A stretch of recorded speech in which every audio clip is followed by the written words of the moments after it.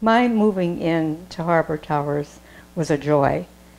I felt like a queen, and not just for a day, because I still feel like a queen. Uh, they provided every kind of assistance I could possibly have asked for. It, if I needed a, a painting hung, if I had a problem hanging a drape, uh, anything that I needed, all I had to do was call and say, listen, I'm having a problem. I had to hook up my computer. Oh, never mind, Johnny can take care of that. I have a lot of boxes to come, you know, to take out. Never mind, Eddie can take care of that. Uh, or Chris, or whomever. Uh, they treat you like family.